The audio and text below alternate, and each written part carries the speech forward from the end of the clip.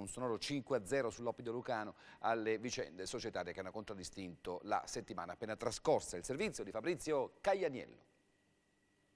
Il primo risultato di questo grande caos societario è la fuga dei tifosi dallo stadio. L'incertezza regna sovrana in casa Brindisi. In attesa di notizie dall'imprenditore leccese Trio si assiste ad una serie di duelli nei duelli. Tifosi contro i tifosi, soci contro i soci.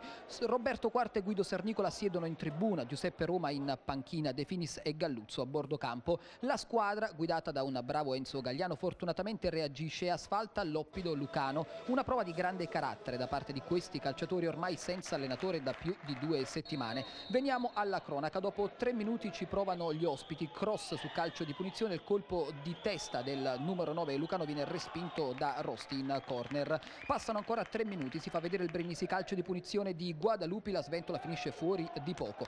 Ottavo minuto sale in cattedra Nando Galetti che si procura un limpido calcio di eh, rigore, davvero in uno stato di forma eccellente. L'attaccante argentino sul dischetto si presenta Mignogna che spiazza l'estremo difensore difensore avversario Brindisi 1, Oppido 0 e la formazione biancazzurra riesce a scacciare così i fantasmi di questi primi minuti del match. A questo punto la partita è a senso unico e Galetti ancora una volta si mette in mostra al tredicesimo cross dalla sinistra colpo di testa ravvicinato del bomber che trova il raddoppio. 2 a 0 in meno di un quarto d'ora partita tutta in discesa per i bianco-azzurri quarto centro stagionale per Galetti. Diciannovesimo minuto prova a riaprire i giochi Loppido con questo tiro di Leone che finisce alto. Ventiquattresimo il Brindisi riesce anche a dare spettacolo spettacolo cross largo di Greco volé spettacolare di Mignogna che trova la terza marcatura. Il nono gol stagionale per il trequartista tarantino ottavo in campionato. Anche lui si gode uno stato di forma davvero eccezionale. Vale la pena rivedere la volée al volo di Mignogna un gol davvero molto bello.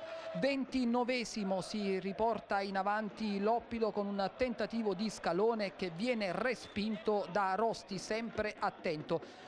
33 combinazione Mignogna-Galetti, i due migliori in campo fino a questo momento, temporeggia troppo però Galetti non riesce a trovare la via del gol, passa ancora un minuto, nuovamente Mignogna, appoggio per Guadalupi, Palombella spettacolare per il poker, 4-0 per il Brindisi a 10 minuti dal termine del primo tempo, ormai una passeggiata per la formazione di anche in questa circostanza molto bella la geometria dei biancoazzurri. Con le immagini di Nicola Damo andiamo negli spogliatoi. Il Brindisi a questo punto rallenta non vuole fare troppo male ai malcapitati avversari. E allora due cambi per Gagliano. Escono Guadalupi e Galetti dentro Ketlun e Scarcella. Non cambia nulla però dal punto di vista tecnico tattico poi al trentesimo entra anche Prisco. Esce tra gli applausi Mignogna e proprio Prisco al trentatresimo firma il definitivo 5 a 0 risultato valido valido solo per le statistiche, è stato davvero una sorta di allenamento a porte aperte per il Brindisi in una giornata importante anche dal punto di vista